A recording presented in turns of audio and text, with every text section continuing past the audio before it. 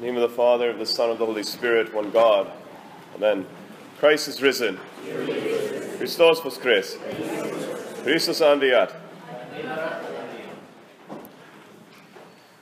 On this, the fourth Sunday of Pascha, we always have this reading of this healing of the paralytic at the, the pool in Bethesda. And these gospel lections that are chosen in this period after Pascha, many of them are allowing us after the resurrection to go back through key events in the life of Christ and to see him for who he is. As you recall, his disciples, all throughout the Gospels, they're confused. They don't know what to make of this man. Who is he? The, the storms listen to him, the demons listen to him, that the dead are raised, the lepers cleansed, so on and so forth. And yet, then they saw him die like a man, and they were perplexed. They didn't know what to make of all of this. But when he had risen, his resurrection bore testimony to them of who he was, that he was, in fact, though man, the very Son of God from before all the ages. And so they too themselves had to go back and rethink and re examine and reconsider each of the things that Christ had said and done in light of his cross and his resurrection. Well, so too now we are given that opportunity, and specifically the church places before our eyes many of the great miracles that Christ worked. And so today we hear of this healing of the man at the sheep's gate, at the pool of Bethesda. So hear the words of the holy evangelist St. John. He tells us first that Christ went up to Jerusalem for the celebration of a feast. And there was in Jerusalem by the sheep gate a pool called in Hebrew Bethesda, meaning uh, which had five porches. Now, this sheep pool was likely the place where they would take the animals, the sheep that were to be sacrificed in the temple, to cleanse and purify them before they would be taken into the temple precincts. This was where they were washed clean of any dirt or anything that might be on them before they were taken to be killed and offered to the Lord as a sacrifice. And so we have here an image, a, a place that sort of uh, focuses all of the main themes of the Old Covenant, of the Old Testament. The sacrificial system that God gave to his people to help them to focus on and realize the depth of their sin just how traumatic it was to their human nature and to the world that this had to happen to try and make something right between God and man. and notice also that it is in a pool of water that this takes place. And the fathers point out over and over again that this was a symbol of baptism. That just as the animals were cleansed before their sacrifice, and these people were healed miraculously of their bodily ailments, so too God was preparing the people for the time wherein He, the true Lamb of God that takes away the sins of the world, would go down into the waters to make those very waters the waters by which we could be healed, not simply of bodily ailments, of leprosy, of blindness, of being lame, of, of a flow of blood, or all these things that Christ healed, but we might be healed of our ultimate ailment, the very passions that turn us away from God, the spiritual ailments, the temptations we give into, and ultimately their fruit, which is death.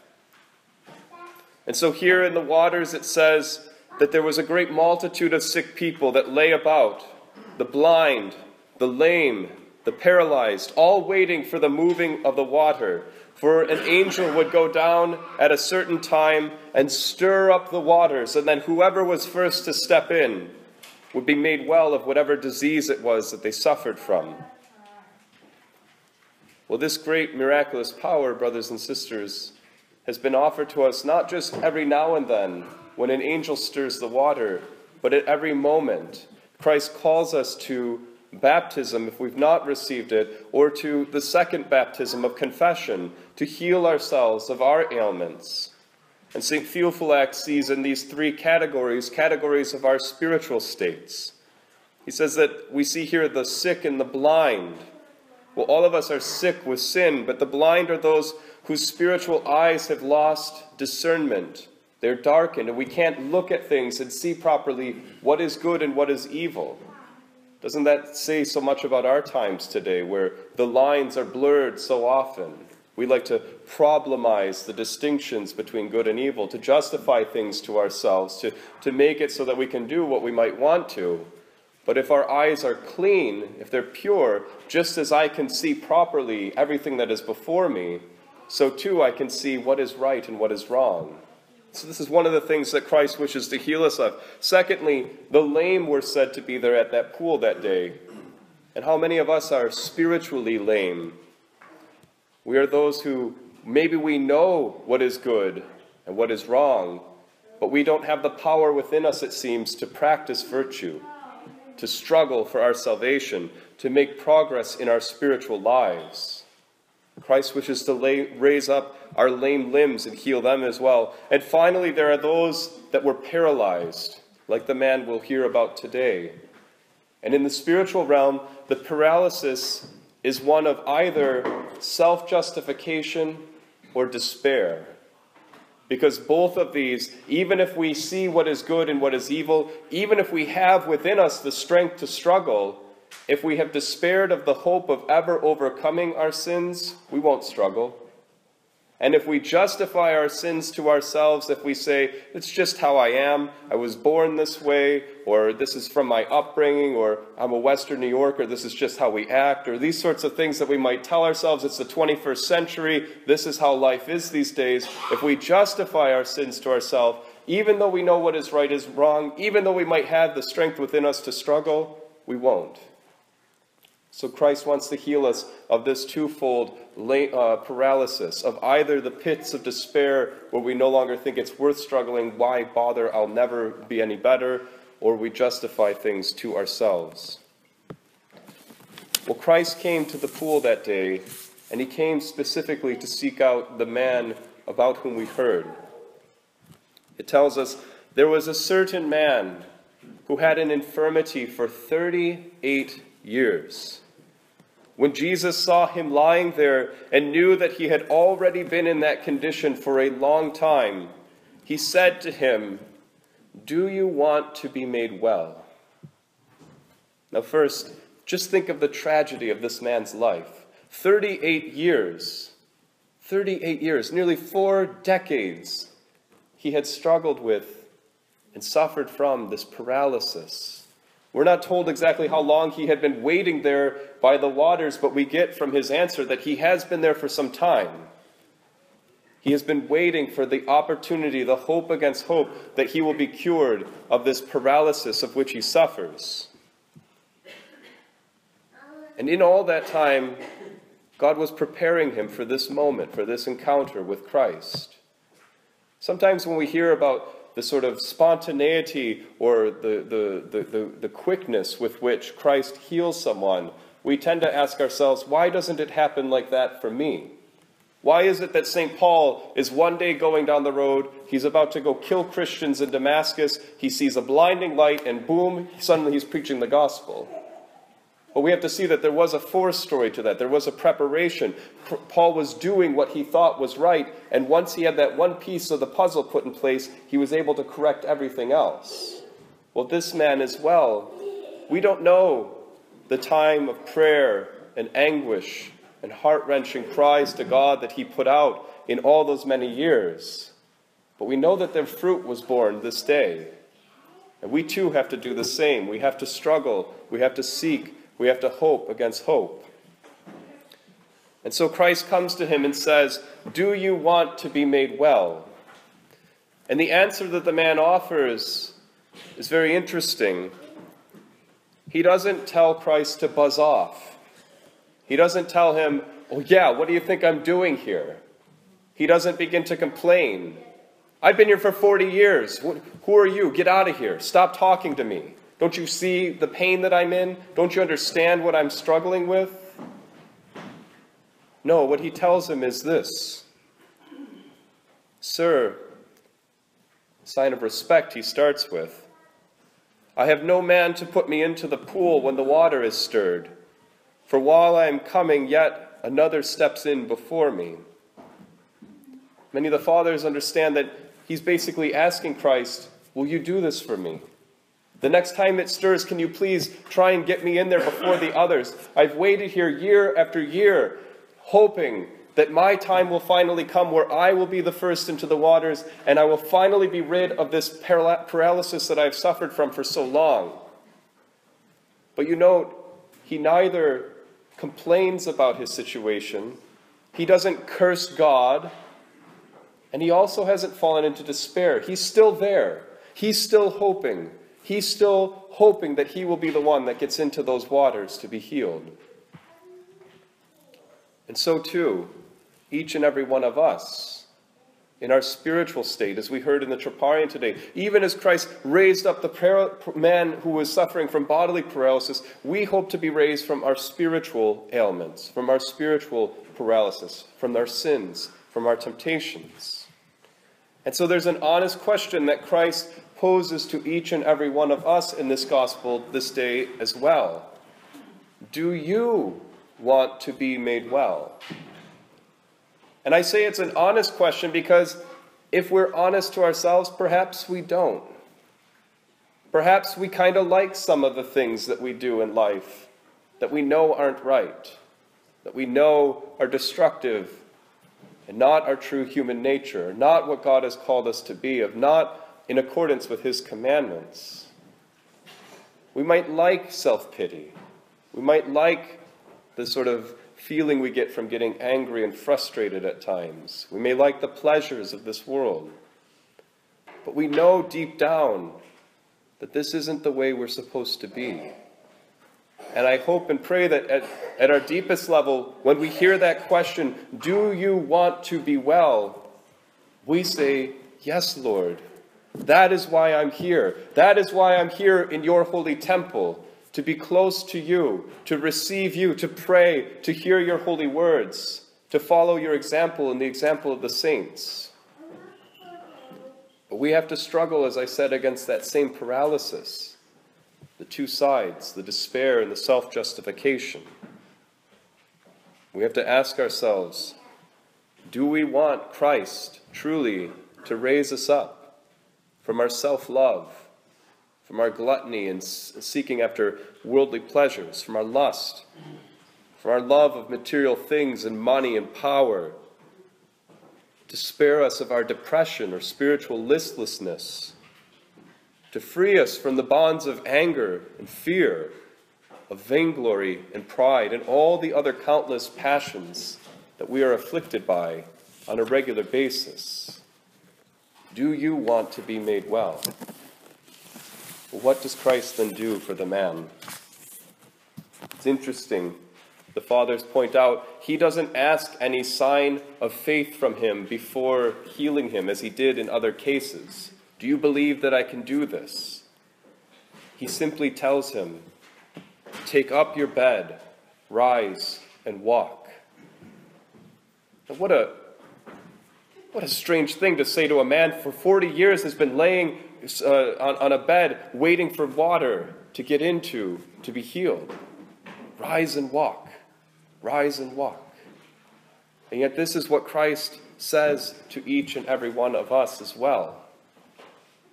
And if we have faith, as this man did, if we will make a firm resolution to rise from the bed of our passions, to walk in the commandments of God, and to take up our bed, our cross, and to follow him, he will heal us as he did that man that day. For that man rose up and to make clear that he had truly been healed that's why Christ told him to take the bed upon his shoulders and to walk about, because it would make it all the more apparent to the people around hey, that's the guy, he's, I've seen him sitting there for years. And now he's walk. How did this happen? And so, too, with us. People know us. People know what bed we lie on all the time. They know our temptations. They know our struggles. But if suddenly they see that person, they're always getting so angry with me, and yet they're just, you know, bubbling over with joy. What, what changed? How did that happen? Or that person always seemed so down in the dumps, and yet now they're full of, of joy. What happened? When they see the bed on our shoulder that we've overcome, people begin to say, What happened to them? And so it was with the man. Now, Christ specifically carried out this act of healing, as it points out, on the Sabbath day. And obviously, that's going to move the story along as to why the Jews get so upset with him.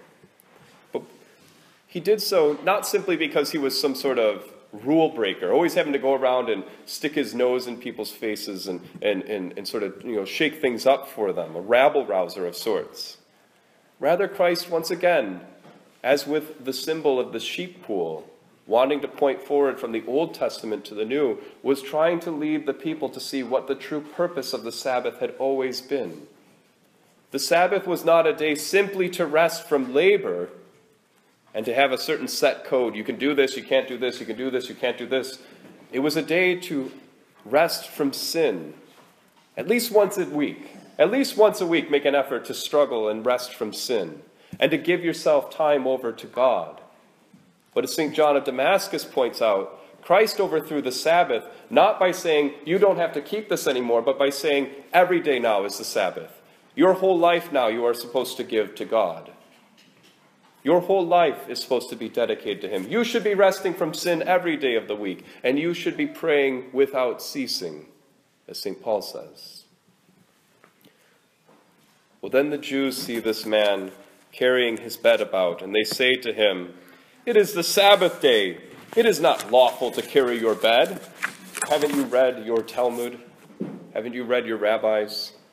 And he answered, Well, he who made me well told me, Take up your bed and walk. And they asked him, Well, who was this man who said to you, Take up your bed and walk? But the one who was healed, this man, he didn't know. Because Christ, again showing us humility, he stepped aside He'll do this again when we come to the healing of the blind man. The blind man doesn't know who it was, he just knows that he couldn't see and now he can. And so, too, Jesus steps aside, only coming forward afterwards to the man to see him in the temple. And isn't that the great sign that this man had truly been preparing for this healing all throughout his life? What does he do when he's raised up? He doesn't go, Yahoo! I'm going to Disneyland, I'm going to the bars, I'm going to the, you know, the sports game, I'm going to go do this, I'm going to do that, I'm going to have all these pleasures, all this fun, you know, get with all the girls, all these things I've wanted to do my whole life, but I've been, you know, just confined to this bed. No. Where is he found immediately after? He walks off, the Jews castigate him because he's carrying his bed, and where does Christ find him? In the temple. Afterward, Jesus found him in the temple and said to him, See now, you have been made well. Sin no more, lest a worse thing come upon you. And so, too, brothers and sisters, the temple is our goal as well. Here, this holy place, to commune of the holy mysteries, to be in the presence of Christ, to be with his people, to be with our brothers and sisters, to be in the presence of the saints. And so, if we have bodily ailments, if God heals us, it's not so that we can then go and live life to the fullest in the way the world thinks, but to live life to the fullest as Christ would have us do. And if we have afflictions in this life, as it says here, Christ said, told, told him, Go forth and sin no more unless some worse thing come upon you.